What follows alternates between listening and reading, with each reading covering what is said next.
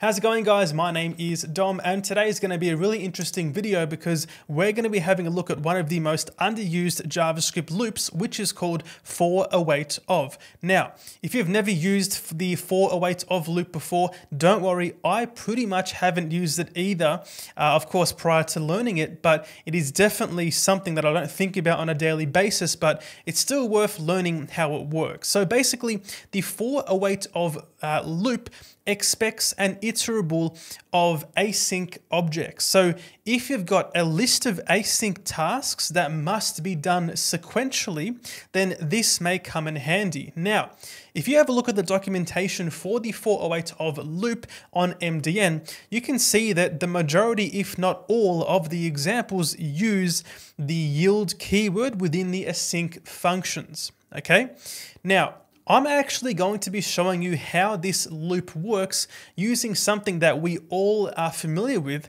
and that's going to be the fetch API. So let me jump right into the code example right now, going inside VS Code, and I'm going to take you through how it's going to work. So right here, I have inside a directory called API and then users. I've got three JSON files representing three separate users, and you can think of this as a fake API, okay? Each of these have the same schema, they all return the same data. Now, going inside the index HTML, we can see here, I've got a function called fetch user. It takes an ID in, then it simply gets the JSON file with that ID being passed in right there and interprets it as JSON and returns that user. So real quick, I'm gonna go down here, I'm gonna say uh, console.log, then pass in here fetch user, then pass through 20182, just like this. Then I'm going to say, oh, sorry, my mistake, guys. It's going to be a dot then. So we need to say dot then. Once we've got the user, we are then going to console.log. That's going to be a lot better. I'll save this, go back in the browser here, and we get the object right there. So we can see here, this method works and we get the data back. Now, how are we gonna demonstrate for await of using this function? Well, we need to create an iterable that has these promises within it. So to do that, we can make a new constant called uh, users to fetch, okay, equal to a new array. Now, we're going to pass in here fetch user and then pass through here 20182 and do the exact same thing for, of course, 62983 and then 77211. Now, of course, in your real world application, you wouldn't be hard coding these numbers. You would find a way to programmatically uh, call this function X amount of times for uh, a specific set of users. But in this case here, I'm just hard coding it to keep it simple, of course. So now if I was to save this and go back in the browser here, if I inspect the network tab, because it's an async operation, it actually goes and fetches those users. Um, if I just can make it a bit smaller here, it goes and fetches those users immediately because of course we called the function and it's going to fetch them. However, because it's an async function, this operation might take, let's say, three seconds and it's still happening asynchronously.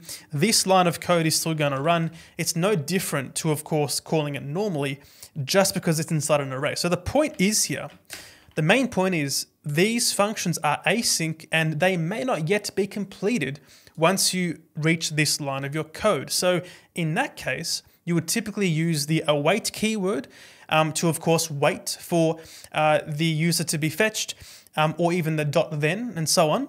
But now we're going to be using for await of. Let's actually loop over this array of async objects and then log out the answer. So we're going to say here for await const user of users to fetch. Okay. It looks a little bit strange, but essentially right here, this block is going to firstly wait for this operation to complete. Then it is going to perform whatever code you put inside the block. The next iteration is going to come around. It's going to wait for this operation to complete.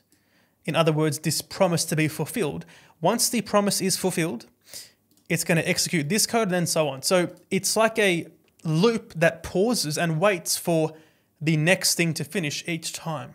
So let's place this within, a, uh, within an async function to allow the awaits keyword to be used, right? So let's say async function here. Uh, let's call this function main as an example, right? Then within here, place the for loop, just like this, okay? And now we are going to say console.log the user, okay? Let's now call main and see how we go. I'll save this code back in the browser and in the console we get those three users there. Now, there are uh, two important things to mention. Firstly, if this was a real application, you would probably not care about which user gets rendered first. If you were to, example, render this data to the screen, you don't really care if Johnny finishes um, the request or Johnny's request finishes before Dom's request, right? You don't care about the order, but it's just an example, okay? Or maybe you do, who knows? But the point is the for await of keyword, sorry, uh, loop is going to maintain the order of the iterable. That's the whole point. Because if you don't care about the order, you might use something like promise.all, right? So first thing is you probably don't care about the order. Second thing is the order is the main thing that this is going to be used for. You have that control, all right?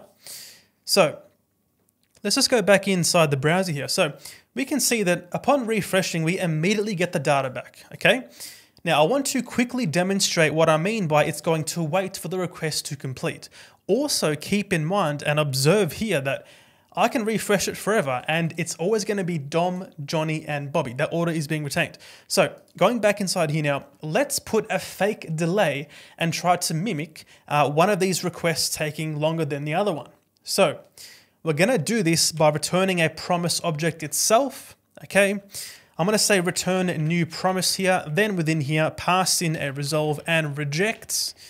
And then within this function, we are going to run the fetch call I'll copy and paste it within here. Also, I've got a video dedicated to uh, creating your own promises and using this syntax right here if you're interested in doing that. But if not, that's okay. So we're going to say dot then, and then got the user. We are then going to resolve and pass the user in. So basically, what we're saying here is, look, fetch the user, then once it comes back, resolve and go back to the promise and essentially pass the user data back in. So it's going to do the exact same thing as it's currently doing. If I refresh the page, we can see how that works and it's the exact same thing, right? But within this result, we are going to use set timeout. Let's say set timeout and create a fake delay, okay? Within here, we're going to say after one second, then you get the user, okay? Or resolve the user. So this is kind of like mimicking a server um, when the server might take a little bit longer to return data for whatever reason, right? So after one second, then you communicate back and say the user is now ready. Now if I refresh, we wait and then bang, okay? The reason why there was a one second delay, of course, because of our code, but they all came at the same time because they all start at the same time. So the one second mark, they're all ready. But we're actually gonna say here, if the ID is equal to 62983, so the middle one, then make it a five second delay. Otherwise, make it a five millisecond delay. Okay? Let's save this now, go back in the browser, refresh. We get Dom shut away. Then five seconds later, it's waiting right here, yeah? It's waiting for Johnny to be, you know, returned. Then it goes to Bobby. Try again, refresh. It does Dom. It waits, okay, maintains the order. Johnny, and then Bobby. So the point is it always retains the order, okay? And that's basically it for the video. Now, I do recommend that you, of course, check out the documentation for yourself. Like I said, a lot of this here is going to use the yield keyword, um, but, and you know, of course, generator functions, but this is just an example that we all understand because of course we're all quite familiar with the fetch API. So that is all for today's video. Hope you guys enjoyed that one and you learned something. If you did, make sure to drop a like and subscribe to the channel and I'll see you in the next video.